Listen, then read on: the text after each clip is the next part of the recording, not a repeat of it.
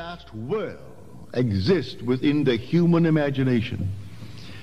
And if you are as intense as that woman, I have never met anyone more intense than that woman. She said to me, we got notice we had to vacate our business, that is the building, on 57th Street between Fifth Avenue and Madison. A most expensive neighborhood where you pay 50, 60, 70,000 dollars for an area not as big as this a year in rent. Certainly not as big as this room. One floor. He's a couturier. He has his factories in London, in uh, Paris, factories in New York, factories in Puerto Rico. and here an area not as big as this. It's long and narrow and could not, if I took the square measure of this room, it could not. That place could not be this big. And he was paying sixty-five, seventy thousand dollars a year rental. In his own place for a living, he paid twelve hundred and fifty dollars a month for that 33rd floor apartment that he had. That's a lot of money. Plus running businesses and paying a payroll to maybe 150 or 200 people every week. That runs into a fortune.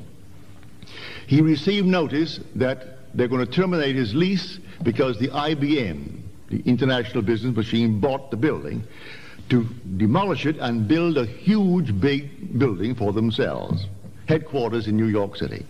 He had to get out. He began to give her all kinds of reasons why he couldn't find a place. She said, Don't tell me what you don't want. Don't tell me what can't be done. Tell me what you want. You name them. I don't care how many you name, you just simply name them. He said, I want a building on 57th Street between 5th Avenue and 6th Avenue. And they say there is no building for sale, not even for rent, but certainly not for sale. Don't tell me what is not, tell me what you want. Now he said, we have 18 months to go on our present apartment. It is $1,250 a month. I would like to move and reduce our rent. All right. But who is going to pay 1250 and take over my lease? Don't tell me who is going to do it. Tell me what you want.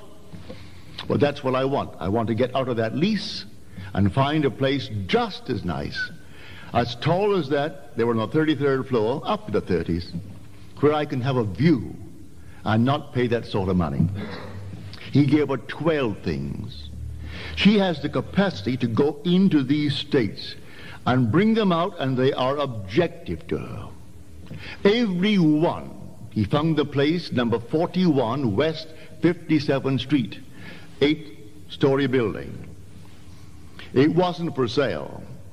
He didn't, she didn't concern herself with what is or is not for sale. She got it. They are there now. Someone came in after she released the apartment in her mind's eye and actually moved into another one right next door to this on 57th Street. Someone came in and said, I'll take over your lease at the same rent, 1250 And then she found a place on the 30th floor right adjacent to where they own now the eight-story uh, eight story building for $650 a month, reducing it by $600. Everything that he requested, she did it. That's her intensity.